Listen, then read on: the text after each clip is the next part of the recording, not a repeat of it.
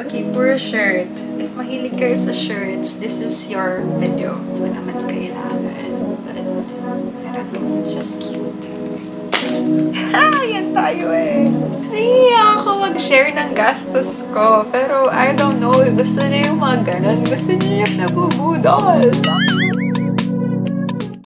Alam nyo, nahiya talaga ako na i-share sa inyo yung mga binibili ko. Pero napansin ko kasi na nagustuhan niyo yung recent haul video ko. So, might as well share with you what I bought this term break nung ngayon na pumunta ako ng Manila. Magpapak kasi dapat ako ng gamit. So, sabi ko might as well while fixing it, share it with you guys.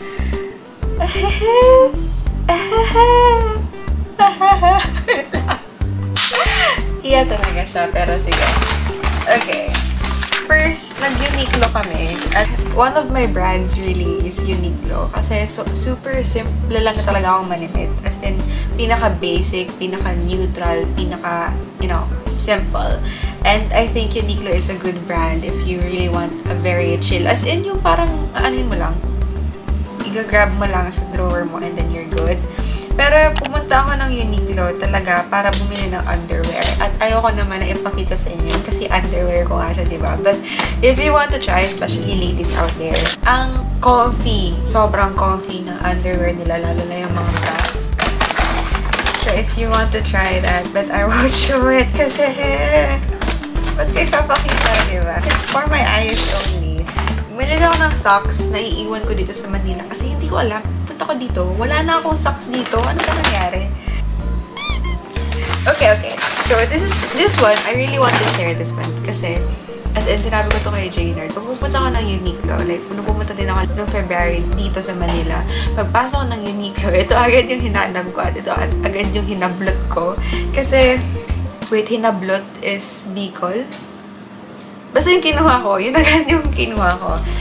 Ito yung Airism shirt nila. If napapapansin niyo sa mga vlogs ko, ito yung lagi ko talagang sinusuot sa bahay. Kasi, hindi naman ako sporty na tao, pero mahilig ako sa mga sportwear. Kasi, ma-press ko sila sa katawan. Tapos, loose and yeah, t-shirt siya. Ito pink, pero ang dami kong colors na ganito. Meron ako nung blue, nung green, nung red, nung black, nung white, nung brown. Yeah. Halata naman na favorite ko siya, di ba? And I swear, kahit ito lang ang suotin ko araw-araw, buong taon, wala akong pakialam. Kasi sobrang press ko niya talaga. Gustong gusto ko yung white nito. Kung pwede nga lang bumili ako ng mga sampu nun, yun na yung susuotin ko araw-araw. Okay na ako. This is really my favorite. Kumuha ako ng pink kasi wala pa ako ng pink. Tapos, ah, suot ko na actually isa ko pang gusto i-share sa inyo. Yung Airism, Airism? Airism shorts naman yan. And Airism shorts, ang dami ko din na kulay nito. Siguro, more than five. Yung shorts ko na ganito. it's very simple. It's very presko sa katawan. It's very worth it. For me, it's very worth it. Like, kahit ilang pieces, iba-ibang kulay, yun ang suotin ko araw-araw. Ito, hindi siya yung airism shirt. Ano ba tawag ito? Dry X Cropped Crew Neck Short Sleeve. Meron ako nito ng white and nung parang brownish-ish na kulay. I don't know colors, but yeah, okay. Okay, nag, nag Face yung mom ko. Tapos, hindi naman ako mahilig dito. Another BTS pie. Bumili ako ng bucket hat. Ayoko nung may string. Wait lang, alisin ko yung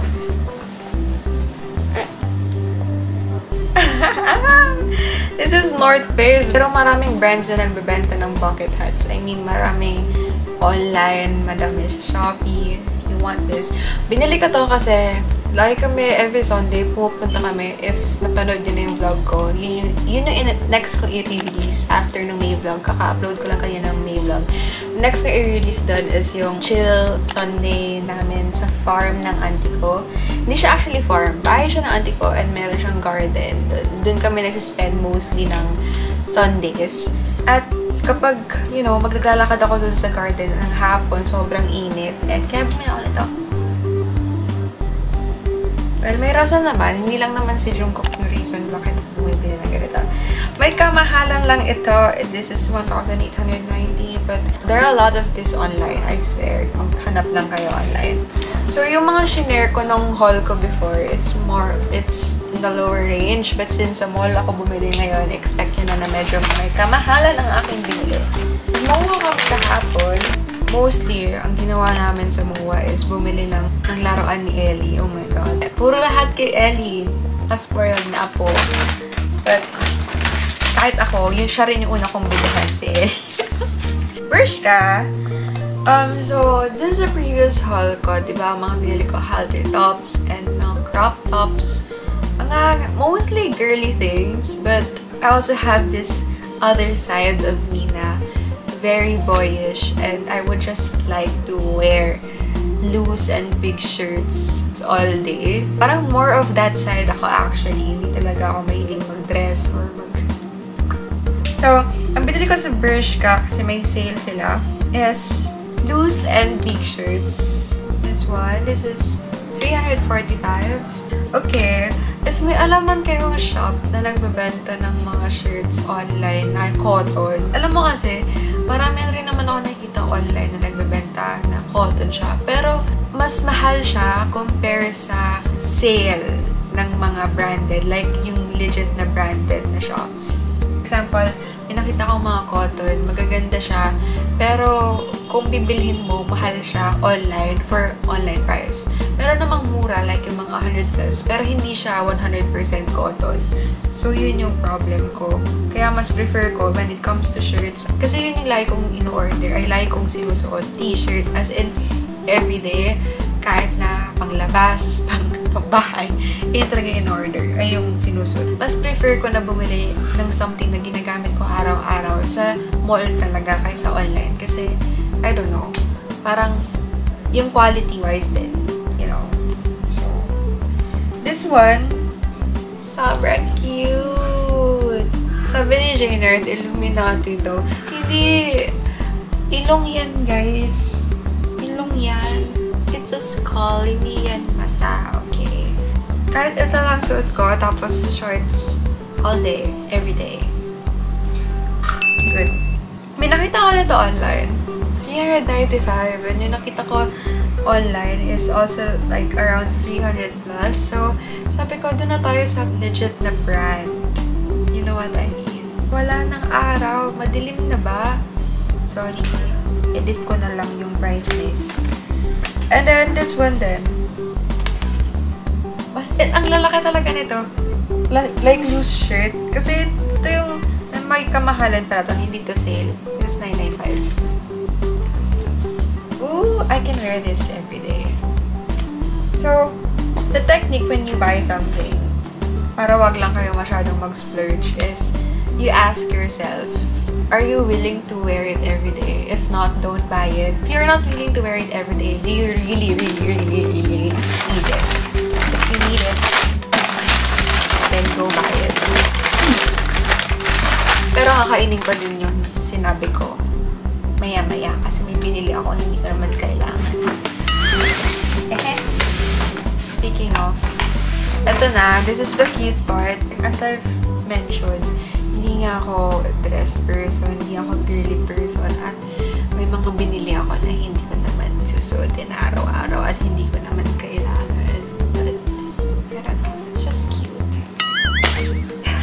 tayo eh! Ay, naku, kinakain mo agad yung sinabi mo, Rosel. Ay, naku, sobrang nakakahiya ka. This is 1 for 1,349. But it's so cute. This is a dress na these straps. So cute. There are days na parang gusto ko maging babae. At, you know, I want to have this on my closet. Just for, you know, I don't know. Hindi ko na-defend sarili ko kasi Pero kung babae ka, gets mo na yun. Uh, this one is 1,650. This is so cute. Ang cute niya, pero susutin ko ba? Oh, may bago.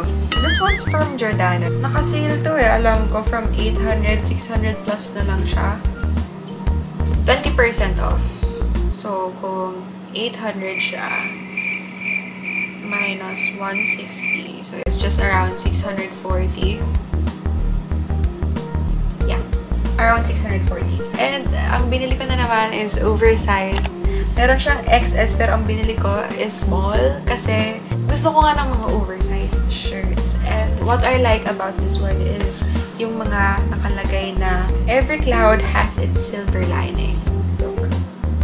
Mahilig yung parents ko or yung mom ko sa Giordano because it's 100% cotton. Hindi siya madaling maluma. Okay.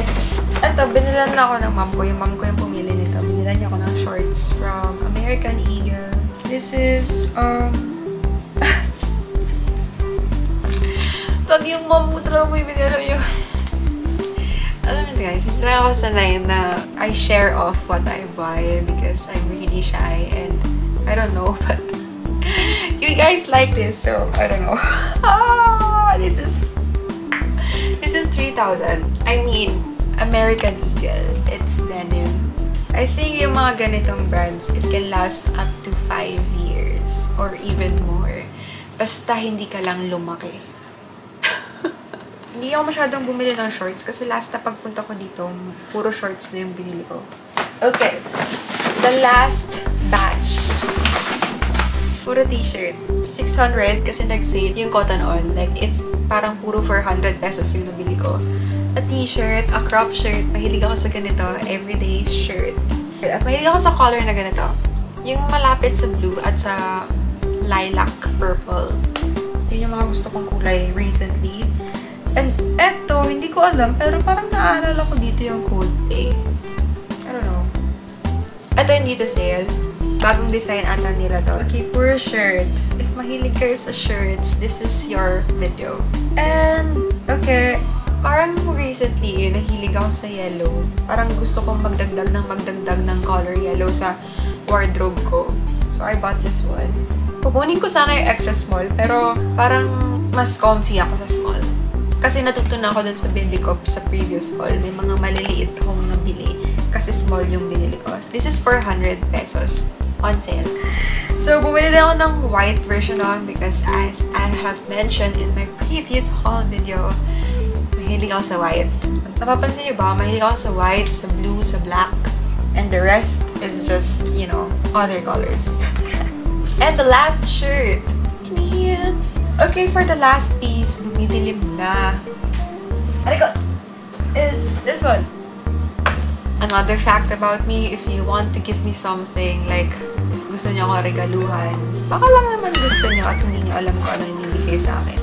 Mahilig ako sa tumblers kasi kung napapansin niyo sa video ko, lagi akong may tubig na katabi sa kwarto ko. At bumili ako nito. Sabi ko nga, di ba, parang recently nahihilig ako sa yellow. Pumasok yung mom ko sa North Face. Kaya ako nakabili ng bucket hat. Kasi pumasok si mom ng North Face. This is 1 liter. 1 liter to, di ba? 946 ml. So, parang approximately 950 ml. So, malapit na siya sa 1 liter. Tapos, this is um, 200, 2,200, 2,590. Ito yung mga brands na talagang okay lang mag-splurge. Kasi, it's a necessity. Tapos, talagang matagal. 24 hours. I think even more. At ang, ang maganda dito sa brand na to is, nawa, hindi agad nagda-die down. Ano ba?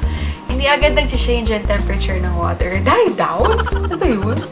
24 hours yung cold water, tapos 12 hours yung hot. Anyways, that's all for my haul. If you want me to make more hauls, kahit na nahihiya ako, Nahihiya ako mag-share ng gastos ko. Pero, I don't know, gusto niya yung mga ganon. Gusto niya yung nabubudol. Bakit naman ganon? But anyways, don't forget to take care of yourselves. Thank you for watching this video. I will see you on my next one. If gagawa pa ako ng madaming haul, gagastos din ako ng madami. At,